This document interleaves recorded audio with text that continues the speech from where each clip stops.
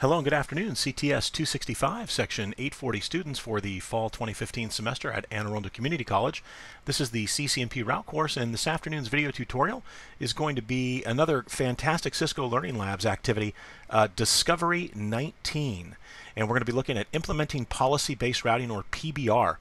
So we have our topology here in front of us, and we're obviously going to be manipulating the traffic that's going to be coming from either the notebook or the PC through branch 1 uh, in order to make it make a decision. Now remember, policy-based routing is extremely flexible and it's commonly referred to as source-based routing. Remember, normal IP routing is destination-based routing. So when we have, let me change the color here real quick. Sorry about that get the lab to come back up. So when we talk about normal routing, we're talking about destination based routing. So traffic that shows up here uh, at the branch router is routed based off the destination, right? So the packet comes in, uh, the branch router takes a look at the destination MAC address, the layer 2 address, and then says, is this packet for me? If it is, it then strips off the layer 2 uh, header and looks at the layer 3 information where you have your source and destination IP, then it makes a decision. So with policy-based routing, we're going to be taking a look at source-based routing where the routing decision is going to be made based on the source network and not the destination network. So let's go ahead and jump into this activity. So the first thing we want to do is um, hop onto the, whoops, sorry about that, hop onto the net the notebook computer here, and we're going to do a quick trace route. So we're going to go from user exec to privilege exec, and we're going to say trace route 192.168.100.1. And so we're tracing to this interface right here uh, that is simulating this Ethernet 01 uh, interface network that we have over here off the HQ router. So you can see that we go to 110.1 and then 1010.21. So which direction are we going? Well, we start coming from the notebook. It comes this way, and then we go to, uh, which is the 192.168.110.1, and then we go to 1010.21, and then we come out to our destination.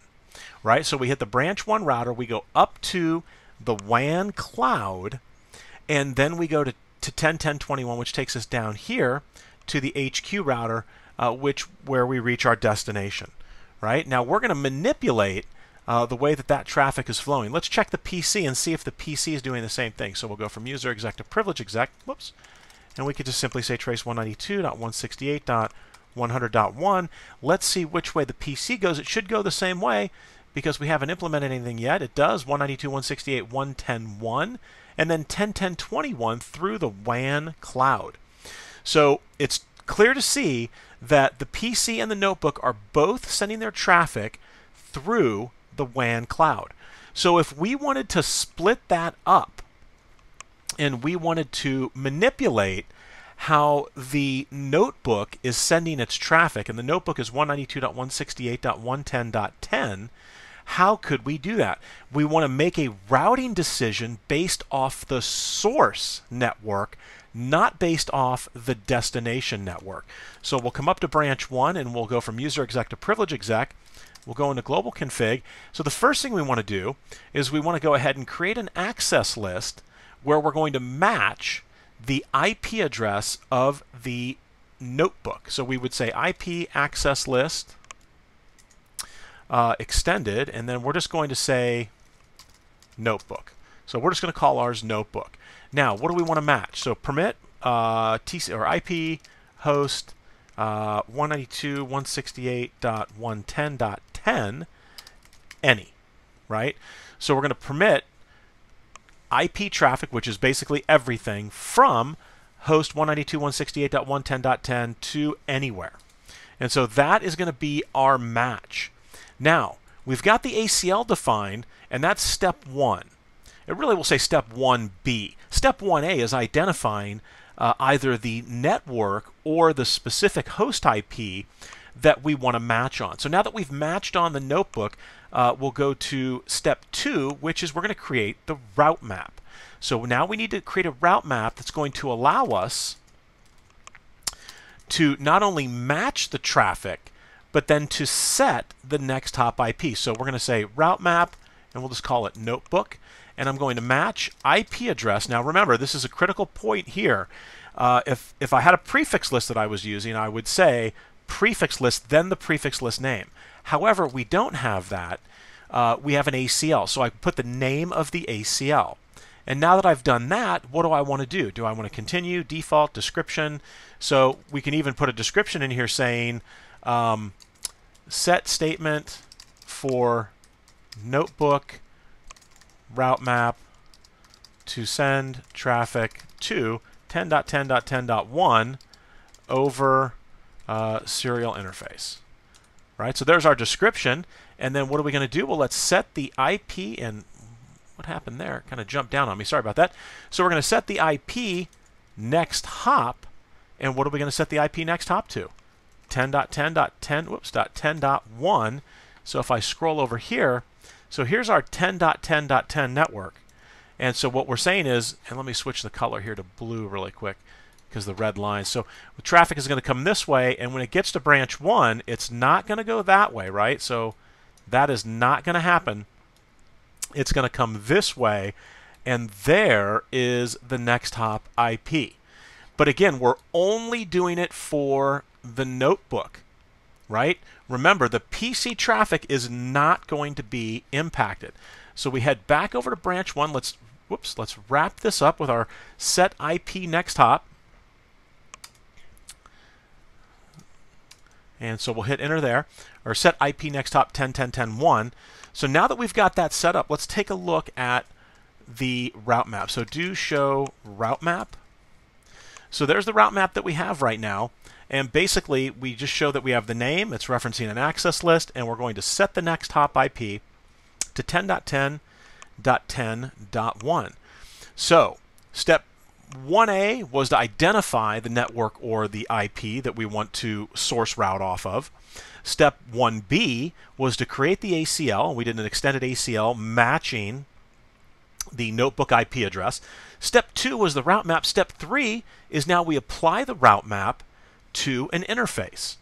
So we want to go to interface, and this is going to be uh, the oops the interface on the inside right here. Remember, we want to set it here on the branch router so that when traffic shows up here right on that interface, we catch it right there before the router has a chance to destination uh, route the traffic. So we want to do a source-based route. We're going to snag it right there on Ethernet 0, 1. So let's come to branch 1 here, and we're going to say interface interface Ethernet 0, 1, and then we're going to say IP policy route map and then the name of the route map.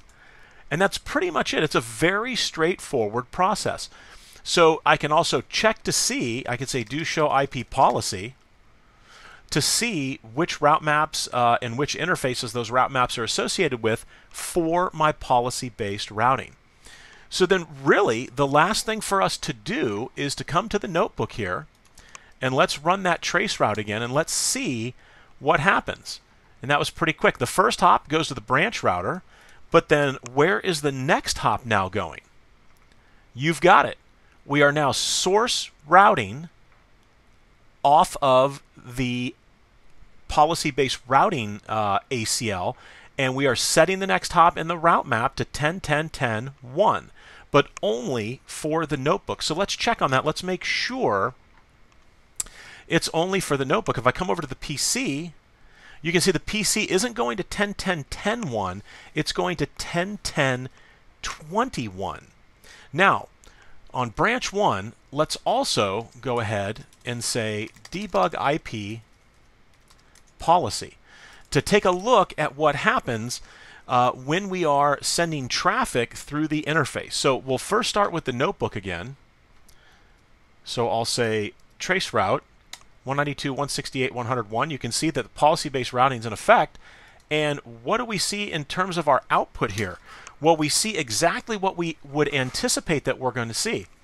So you can see route map is named notebook. Item 10 is a permit. Uh, the source IP 192.168.110.10, and we are doing source-based routing. The destination shows 192.168.100.1. Again, that's the uh, segment over behind the headquarters router. And how is it being routed?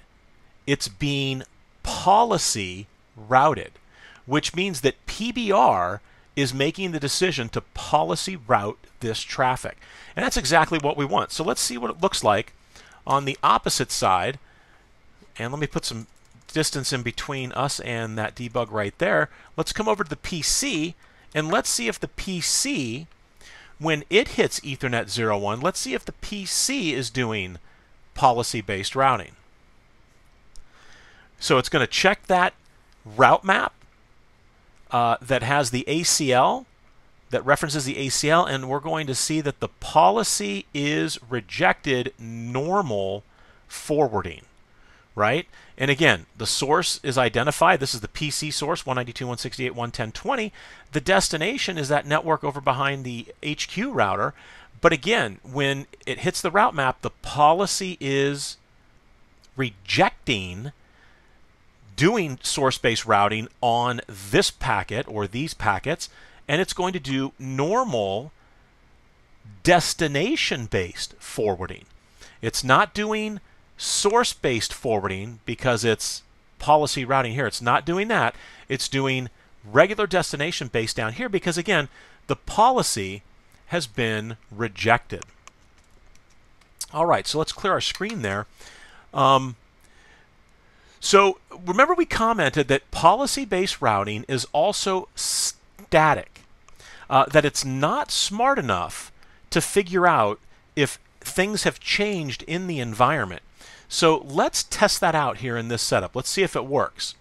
So right now we're coming to the 10.10.10 uh, dot one, which is this interface right here on the HQ router. So let's come over to the HQ router go from user exec to privilege exec and into global config. I'm going to go into interface. Uh, let me make sure here, do show IP interface brief. We're going to go into interface 10.10.21, uh, interface Ethernet 0, 0, right? And I'm going to actually kick off a uh, an extended ping here from the notebook. So on the notebook, if I was to say ping uh, 192.168.100.1 repeat, and we'll put a big number in here. Right, so as you can see, we've got all kinds of pings going on here. If I come over to the HQ router and I say shut on the serial interface, let's go back to the notebook. What's happening with the traffic? Exactly. The traffic is being dropped. And this is interesting, right? Because we're doing destination based routing, and in effect, what we're doing here, and where did my mouse go? There it is. All right, sorry, my mouse disappeared there. So again, what we're doing is we're doing destin I'm sorry, source based routing. And so traffic from the notebook comes down to the branch router, and the branch router right here has the policy-based routing set that says send the traffic this way. However, that interface has just gone down. Branch 1, because it's policy-based routing and it's static, doesn't know any better.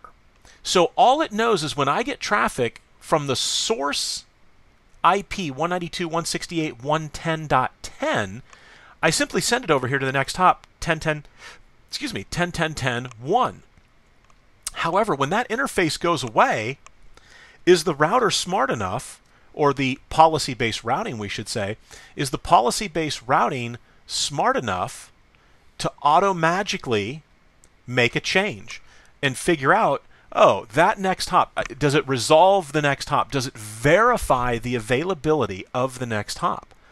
And you can clearly see here that it doesn't do that. And this is why we call policy-based routing, uh, or this is why it's classified as being static, right? And not static in the sense of like a static route, although you might think of it like that, but it's static in the sense of once the route or once the next hop that it's going to goes away, it can't dynamically make an adjustment and say, hey, that next hop is no longer there. What I need to do now is I need to switch and I need to go back around the original path. And so that's not going to happen. So, and this is why, and this is going to dovetail nicely into the next uh, conversation that we have, which will be on IPSLA, right, or IP Service Level Agreement. And what IPSLA allows us to do is to actually check on the destination networks to see whether or not they're available. And so we can send ICMP echo requests uh, and try to get echo replies back. And again, uh, so this is going to wrap up Discovery 19, where we were talking about policy-based routing. And remember, PBR is source-based routing, and it's static in the sense that, as you can still see here, uh, it is unable to dynamically make routing decisions if the next hop goes away. And as soon as I say no shut, we come back over to the notebook. What should we see here? As soon as our next hop comes up, and there we go. And then everything's working great. All right, well, this has been Discovery Activity 19. I thank you for watching. I'll see you guys on Monday.